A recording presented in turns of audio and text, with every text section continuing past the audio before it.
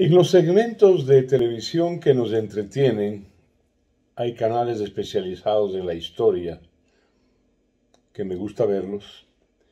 Encuentro de vez en cuando series, sagas, sobre supuestas sociedades secretas que a lo largo del tiempo, a lo largo de la historia humana, pues han hecho lo que han querido han determinado el curso del tiempo, de los acontecimientos en todo orden, sin que lo sepamos.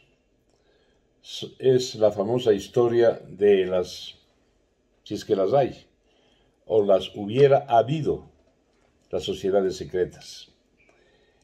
A partir de Renacimiento, la Edad Moderna, empezaron a surgir pero no solo eso, al finalizar el medioevo, en la Baja Edad Media, sucumbió, por ejemplo, la famosa, célebre Orden de los Templarios, que era la dueña y señora de la voluntad, porque manejaban lo económico, manejaban la naciente banca, los templarios, inventaron la carta de crédito, imagínense ustedes, y tenían, pues literalmente a sus pies a las coronas europeas y determinaban, claro, desde el punto de vista eran muy religiosos, eran monjes guerreros, místicos, cristianos, obviamente católicos, y hasta que en 1307 sucumbieron, ¿no? Y forma trágica, porque todos fueron a parar, o casi todos, al cadalso.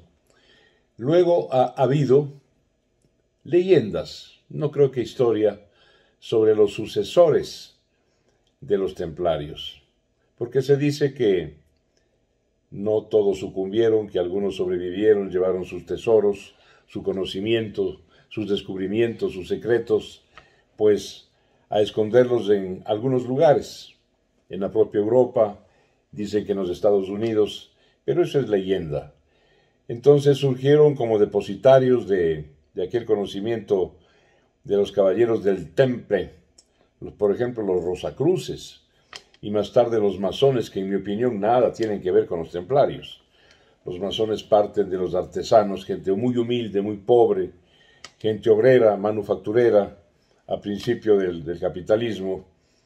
Eh, de ahí su símbolo, la escuadra y el compás, ¿no? Nada que ver con los templarios. Pero bueno, la leyenda dice que, en definitiva, y a lo que voy, que hay sociedades secretas que determinan la vida de la humanidad sin que lo sepamos. Sería terrible, ¿no?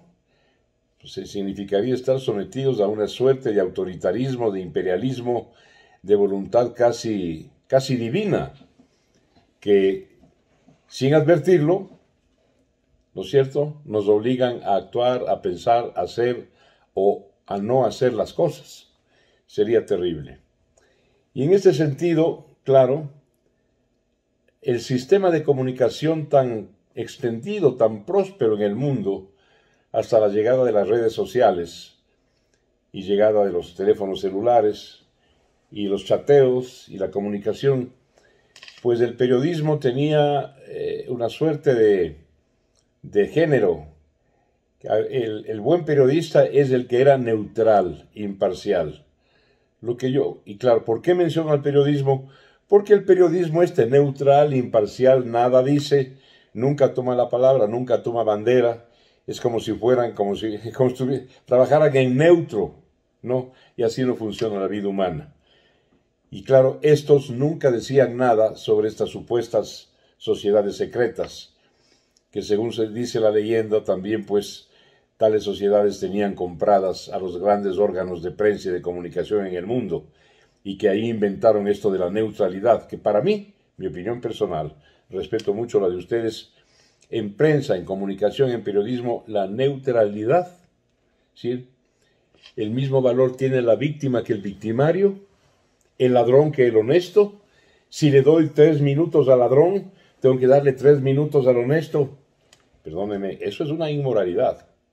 Esa es una inmoralidad que nos han obligado, señoras y señores, a aceptar como si fuera cierta o como si fuera verdad.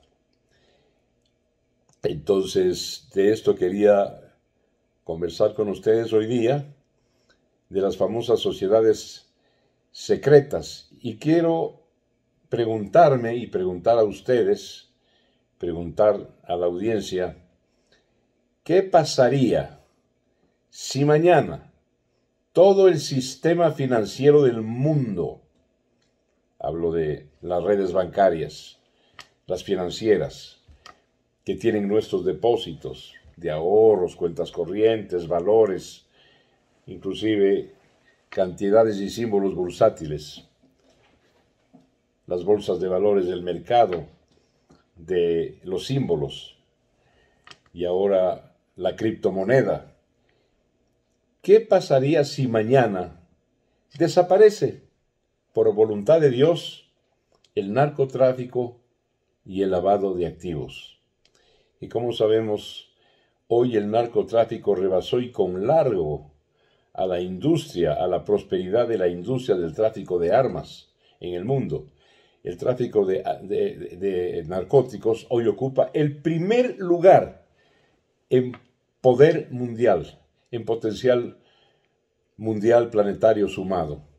Heroína, cocaína, morfina, anfetaminas, en fin, todo eso. En la comercialización de eso mantiene una especie de primer puesto en el podio de la riqueza. Y claro, ese dinero no lo tienen escondido debajo del colchón, imposible. Ese dinero está circulando. ¿Dónde circula? ¿Dónde es obvio que circule? En el sistema financiero internacional. ¿Qué pasa si mañana? Esa es la pregunta.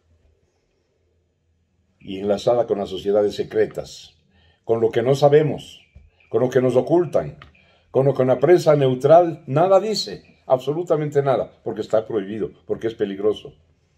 ¿Qué pasa si mañana desaparece el narcotráfico, insisto, y el lavado de activos? ¿Qué le pasa al sistema financiero mundial? Se me ocurre pensar, deducir, colegir, inferir que el sistema de liquidez monetaria del mundo se hunde. Así de simple. Así de simple. Se hunde y colapsa. Ergo, y por tanto, hasta qué punto es cierto la lucha de Occidente, por ejemplo, contra Cuba, contra Afganistán, en donde hay grandes sembradíos de amapola, heroína, ¿Qué tan cierta es la lucha de Occidente capitalista con Cuba, con Venezuela, con Nicaragua? ¿Qué sabemos? He mencionado Afganistán, Cuba, Venezuela, Nicaragua, pero no son las únicas. De donde se exporta toda la droga que hoy en día infesta a Europa y a los Estados Unidos. ¿Y dónde está la contrapartida de esa droga que sale de, estas fuentes que acabo de mencionar? Sale del enorme, descomunal, inconmensurable, inconmensurable pago por la droga que va a acoderar, va a instalarse, donde, como ya dije, en el sistema financiero mundial. Pero quiero terminar en la pregunta que ya hice. ¿Qué pasa si mañana desaparece el narco lavado? Y si es verdad que la lucha de Occidente capitalista, del Occidente financiero y bancario, contra Cuba, Venezuela, Laos, Afganistán, Nicaragua, es una lucha real o es un show.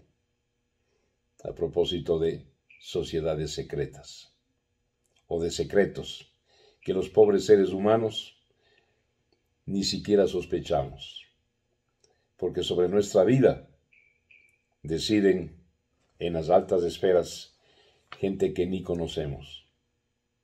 Muchas gracias. Hasta mañana.